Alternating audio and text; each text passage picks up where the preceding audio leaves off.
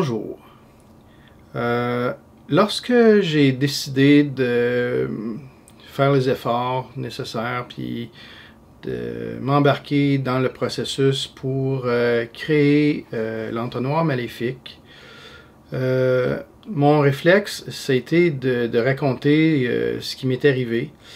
Et ce réflexe-là, de essentiellement raconter ma vie, c'était pas le bon. Euh, tous les autistes le font presque parce qu'ils vivent des choses euh, très traumatisantes. Euh, c'est peut-être thérapeutique, mais les gens se désintéressent parce qu'ils ne comprennent pas pourquoi toutes ces choses-là sont arrivées. Puis très souvent, quand on fait juste expliquer les faits sans expliquer le contexte, ben ça semble pas avoir de sens. ce qu'il faut vraiment comprendre, c'est le pattern, le cercle vicieux qui arrive aux autistes euh, lorsqu'ils n'ont pas de soutien. Et Brigitte euh, le décrit à merveille. Presque toutes les autistes de ma, génération euh, décrivent essentiellement le, même pattern, à quelques exceptions près. ce pattern est causé par l'ignorance, le manque d'écoute, la, superficialité et les préjugés moralistes. c'est exactement ce que décrivent Brigitte Harrison et le docteur Morissette dans l'entonnoir maléfique. Euh, est-ce que c'est vrai de dire que ça n'arrive pas juste aux autistes? Euh, oui. Euh, le cas de Joyce Echaquan, je pense que c'est un exemple extrême. C'est une madame qui avait un problème cardiaque et qui a eu une mauvaise médication. Et le personnel médical l'a interprété à la place comme une droguée qui avait des symptômes de sevrage. Et c'est une erreur de jugement qui a été fatale. Et ça, c'est vraiment l'exemple extrême de, préjugés de nature moraliste, de vouloir voir des comportements euh, irresponsables euh, au lieu de voir une personne en détresse. Euh, mais je pense qu'en général, c'est pire pour les autistes parce que de par leurs pauvres habiletés sociales, on ne les écoute pas et on se sert de leur colère et de leur sens de la justice contre eux. Et euh, je pense que c'est bien illustré dans un documentaire que la BBC a diffusé l'année passée. Euh, ça s'intitule Targeted Crime Against Disability. Et euh, on voit plusieurs personnes handicapées dans ce documentaire-là subir toutes sortes d'agressions violentes, toutes sortes de préjudices, d'insultes verbales. Mais il y a un seul cas où euh, la victime est accusée d'être l'agresseur. Et c'est le cas du, monsieur autiste qu'on peut voir dans ce documentaire-là. Euh, ce pattern-là, euh, il est mal compris au Québec. même qu'on m'a déjà accusé de faire du négativisme parce que je l'illustre dans l'entonnoir maléfique mais euh, il est bien compris euh, dans le reste du monde. Euh, je pense que le film Ben X, qui est sorti en 2007, l'illustre très bien.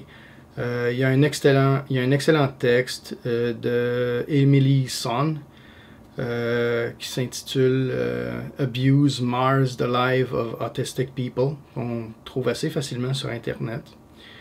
Et euh, j'ai trouvé un autre aussi, un autre excellent texte euh, qui s'intitule Autistic People Aren't Really Accepted. Alors, dès qu'on est capable de parler en anglais ou de lire l'anglais, on peut assez trouver facilement sur Internet euh, beaucoup de vidéos, beaucoup de textes publiés par des associations, par des autistes ou par des professionnels qui comprennent très bien le pattern, et qui euh, le décrivent euh, à merveille, soit textuellement ou en en parlant. Alors, euh, en 2018, quand j'ai embarqué dans le processus de faire l'entonnoir maléfique, j'ai fait connaissance via Internet avec un monsieur qui s'appelle Mathieu Giroux.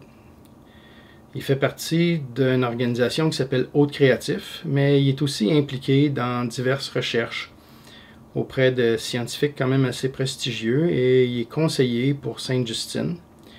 Mais euh, à ce moment-là, il refuse de participer à mon travail malgré la collection d'abus euh, subis euh, qu'il décrit sur un site web qu'il a mis en ligne sur Internet. Après la mise en ligne de la première partie de l'entonnoir maléfique, Mathieu Giroux déclare que je présente l'autre comme un ennemi. Alors que ce que je fais, ce que je fais en réalité, c'est que je dénonce personne en particulier, euh, si ce n'est l'ignorance elle-même. Euh, mais surtout, il affirme que puisque 85% des médecins ont des préjugés envers les personnes obèses, alors ils n'auront pas de préjugés contre les autistes s'ils ne comprennent pas ce qu'est l'autisme. Euh, honnêtement, j'ai trouvé ça vraiment euh, stupéfiant comme affirmation. Et alors que euh, c'est évident que l'ignorance est la composante clé de la stigmatisation envers les autistes, voici un autiste qui veut garder le corps médical dans l'ignorance. Et pour moi, c'est une affirmation qui est un non-sens complet. Euh, j'ai remarqué aussi qu'il utilise une pluie de détails et de références scientifiques plus ou moins pertinentes pour décrire l'autisme, ce qu'on peut appeler, je pense légitimement, euh, du filibustering intellectuel. Et il accuse quiconque euh, refuse de s'y livrer de faire du cherry picking, euh, je pense que ce qu'il fait, c'est complètement l'inverse de la vulgarisation. Euh, et c'est une façon très efficace de s'assurer que personne ne comprend rien. Ni le public, ni les autistes, euh, ni les gens, ni les professionnels. aussi, dans mes échanges avec lui, il nie catégoriquement que l'autisme est un handicap. Euh, mais en même temps, euh, dans d'autres échanges, il indique qu'il doit sa survie à des gens de son entourage qui lui offrent du soutien. Ce que je trouve euh, passablement contradictoire. dans les autres affirmations qu'il a lancées aussi, il prétend que les autistes communiquent toujours à la perfection entre eux. Fait que ben, les autistes seraient des modems, quoi. Euh, ensuite de ça, euh, à plusieurs endroits sur Internet, euh, il a fait des publications. Et essentiellement, ce qu'il dit contredit les découvertes scientifiques du docteur Simon Baron Cohen et de son équipe. ce que Simon Baron Cohen a indiqué, c'est qu'il y a plus de 30 gènes qui sont impliqués dans la condition de l'autisme et que tous les êtres humains sur Terre ont au moins euh, un de ces gènes-là. Et euh, plus on a un grand nombre de ces gènes-là, euh, plus, on, plus notre condition d'autisme est intense. Et Mathieu Giroux, lui, déclare solennellement que c'est un mythe et qu'il y aurait en réalité trois types spécifiques d'autisme. Euh, ça aussi, euh, bon, euh, ça me semble pas nécessairement adéquat. lorsque je lui parle des erreurs d'attribution causées par l'ignorance et qui font en sorte que les autistes sans soutien se retrouvent dans un cercle vicieux, M. Giroux affirme que, que je prends le grand public pour des imbéciles et il perpétue lui-même euh, le pattern de stigmatisation qu'il prétend vouloir combattre en donnant crédit aux fausses étiquettes invalidantes et erreurs d'attribution qui sont en cause. Euh, il lance que l'autisme n'excuse pas tout, alors que c'est exactement euh, la première chose que vont lancer des gens qui jugent les autistes à tort et à travers, de par leur ignorance et leurs préjugés. Euh, lorsque je lui fais mention que dans le passé, euh, des fausses maladies mentales m'ont été attribuées par des psychiatres euh, ignorant des choses importantes sur l'autisme, M. Giroux se prend pour un médecin et me lance que ces psychiatres avaient possiblement raison. Ceci alors que le docteur Motron lui-même a contribué à les faire déclarer comme diagnostic erroné et il a même euh, publié un document scientifique sur le sujet. Euh, Monsieur Giroux euh, dénigre Brigitte Harrison et le docteur Simon Baron Cohen sur les réseaux sociaux et il attaque assez avec une certaine virulence quiconque n'adhère pas à son point de vue. Il a fait subir ses foudres, entre autres, à Mme Isabelle Fagui, qui est une bonne amie et extraordinaire activiste des droits des autistes de la région de Gaspé. Alors, euh, moi, je, me suis posé des questions. Je veux dire, je comprenais pas comment ça se fait qu'une personne autiste euh, pouvait euh, exprimer ce, ce, genre de position-là. Alors, je suis entré en contact avec des gens en Europe et ils m'ont dit qu'ils ont déjà vu ce type d'idéologie chez les autistes.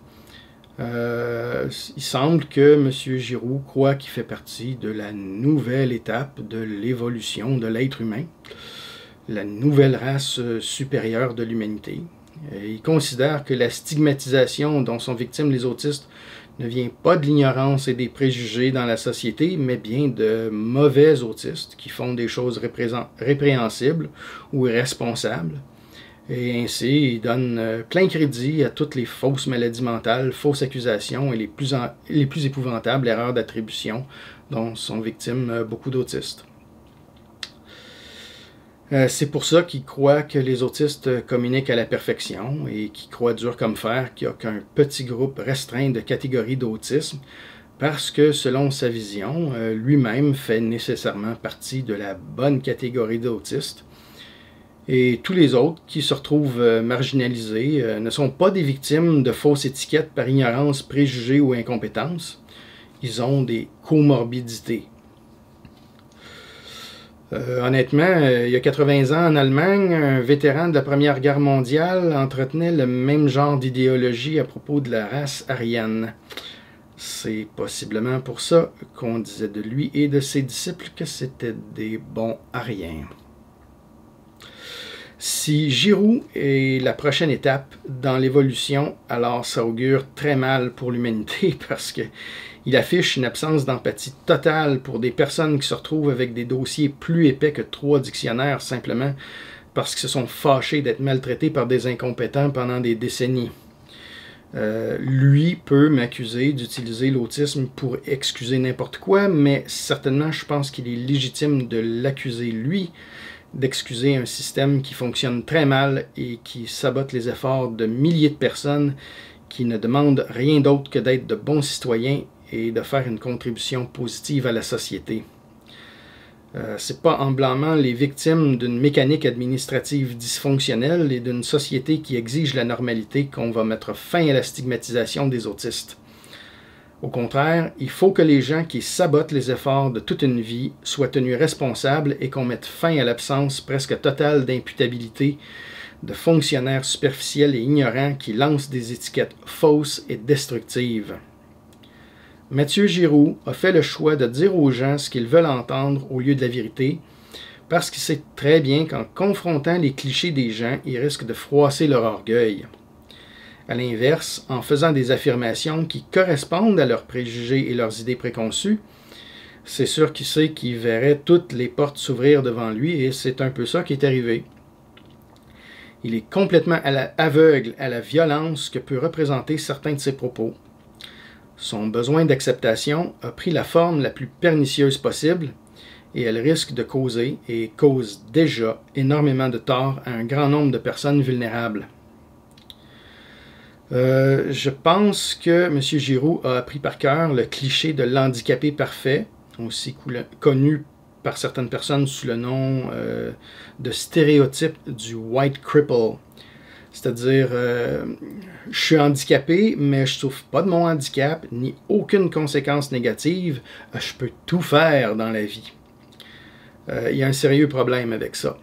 Euh, les autistes ne peuvent pas comprendre ce genre de concept sans l'aide d'une personne non autiste. Et ça, c'est bien la preuve que M. Giroux est manipulé par des personnes non autistes. Et on peut seulement spéculer sur leurs vraies intentions.